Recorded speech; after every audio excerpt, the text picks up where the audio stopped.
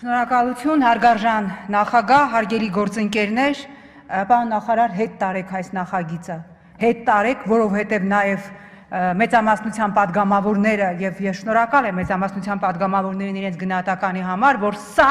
ուղակի ոչ միայն հետընթաց է ժողովրդավարությունից, ես հիմա չեմ ուզում մենք խոսենք մարդու իրավունքներից։ Ես ուզում եմ ասել, որ դուք աննպատակ անիմաստ գործ եք անելու։ Այն հսկայական ռեսուրսները, որ դուք ծախսելու եք մեզ տեղորոշելու համար, այդ ռեսուրսները ծախսեք սահմաններին Հայաստանի բոլոր մուտքերին տեստեր դնելու համար։ Այդ ռեսուրսները ծախսեք չաշխատող օրավարձով աշխատող մարդկանց բերը թեթևացնելու համար։ Այսօր իմ հերախոսի վրա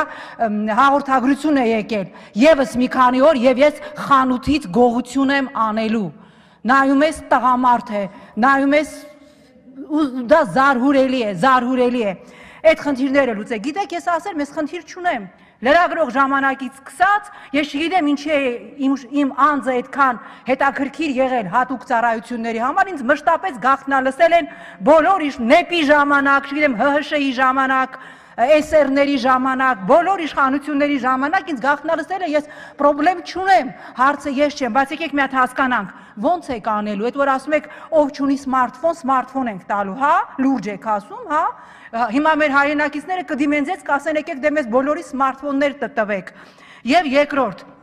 որpիսի տեղորոշենք, ռիսկը կանխենք, նախ ռիսկը կանխելու համար բավականաչափ ուշացել եք, Ամենամեծ ռիսկը այս դահլիճում այսօր։ 132 падգամավոր ժամերով փակված միտեղ։ Եկեք ռեալ քայլերի մասին մտածենք։ Եկեք ոչ թե հա ինչ որ աներևույթ այսպես վախերի եւ ֆոբիաների հետևից գնանք, որը ոչինչ չի տալու։ Դուք ուղղակիորեն ծախսելու եք հսկայական ռեսուրսներ եւ հետո ով ասեց, որ մարդիկ անպայման պիտի հերախոսով իրար հետ պայմանավորվեն, որ հանդիպեն։ Հանդիպումների գերակշիռ մեծամասնությունը տեղի է ունենում իմ կարծիքով նաեւ էքսպրոմտ, առանց որևէ հանդիպման կամ